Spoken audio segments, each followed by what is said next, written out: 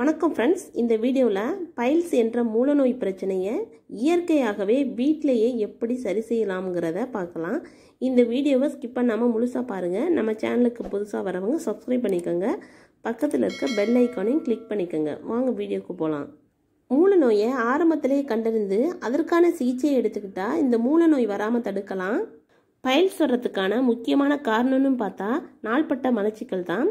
தினமும் மலச்சிக்கல் பிரச்சனை இருந்துச்சுன்னா அதை சரி செஞ்சாகணும். இல்லைன்னா அது பைல்ஸ் வர்றதுக்கு வழிவகுக்கும். இப்போ பயில்ஸ் என்ற மூலநோய்க்கு ஒரு சில கை வைத்திய முறைகளை பார்ப்போம். உலர்ந்த அத்திப்பழம். மலச்சிக்கல் பிரச்சனையை அதிகம் சந்திப்பவங்களுக்கு தான் பயில்ஸ் வரும். இந்த மலச்சிக்கல் பிரச்சனையை தவிர்க்க ரெண்டு அல்லது மூணு உலர்ந்த அத்திப்பழத்தை நைட்டில் தூங்க போகிறதுக்கு முன்னாடி தண்ணியில் ஊற வச்சுடுங்க. மறுநாள் காலையில் வெறும் வயிற்றுல அதை சாப்பிட்ணும்.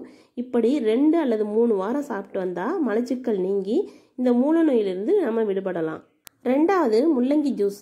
முள்ளங்கி ஜூஸு பைல்ஸ் பிரச்சனைக்கு மிகவும் அற்புதமான பானம். தினமும் காலை மாலை ரெண்டு நேரங்கள்லேயும் அரை அரை கப்பு முள்ளங்கி ஜூஸ் குடிச்சிட்டு வரலாம்.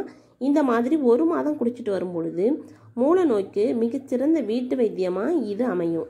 மூன்றாவது கொத்தமல்லி இலை ஜூஸ். இந்த பைல்ஸ் உள்ளவங்க கொத்தமல்லி இலை ஜூஸோட ஒரு டீஸ்பூன் அளவு சர்க்கரையும் சேர்த்து தினமும் மூணு வேளை சாப்பிட்டு வரலாம். இந்த மாதிரி சாப்பிட்டு வரும்போது மூல நோய் விரைவிலேயே குணமாகும். மூல நோயால் ரொம்ப அவஸ்தப்பட்டுக்கிட்டு இருக்கவங்க வேணா இதை ட்ரை பண்ணி பாருங்கள் நான்காவது புதினா ஜூஸ். புதினா உடலுக்கு குளிர்ச்சியை தரும். இந்த புதினா ஜூஸ் எடுத்துக்கோங்க. அதோட ஒரு டீஸ்பூன் அளவு லெமன் ஜூஸ் சேர்த்துக்கோங்க.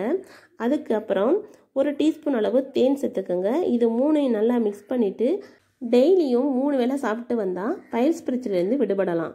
ஐந்தாவது ஜீரக பேஸ்ட்டு பயல்ஸ் பிரச்சனை இருக்கிறவங்க நிம்மதியாக உட்கார முடியாத அளவில் ஆசனவாய் பகுதியில் கடுமையான வலியை சந்திப்பாங்க. அப்படி வலி இருக்கும் பட்சத்தில் சீரகத்தை தண்ணி சேர்த்து அரைச்சி பேஸ்ட் பண்ணிவிட்டு அதை ஆசனவாய் பகுதியில் பூசிட்டு வந்தால் வலி குறையும்.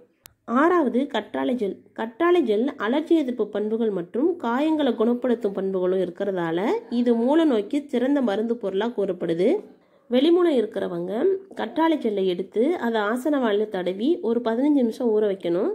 உள்மூலம் இருக்கிறவங்க கற்றாழையோட தோல் மற்றும் முட்களை நீக்கிட்டு ஃப்ரிட்ஜில் வச்சு பிறகு அதை ஆசன வாயில் சொருகணும். இப்படி தினமும் மூன்று முறை செஞ்சுட்டு வந்தால் நல்ல பலன் கிடைக்கும். ஏழாவது தேங்காய் எண்ணெய். தேங்காய் எண்ணெயில் அலர்ஜி எதிர்ப்பு பண்புகள் அதிகமாக இருக்குது அதனால் இது வலிகளுக்கு நிவாரணம் தரக்கூடியதாக அமையுது.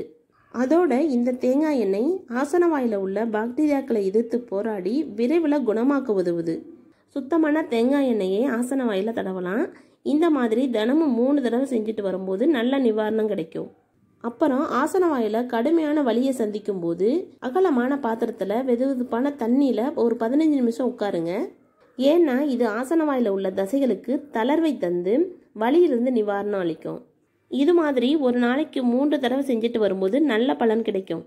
ஆசன வாயில அதிகமான வலி இருக்கும்போதோ அல்லது பைல்ஸ் ஆரம்ப நிலையில் இருக்கும்போதோ இந்த மாதிரி டிப்ஸை ஃபாலோ பண்ணி நிவாரணம் அடையலாம்.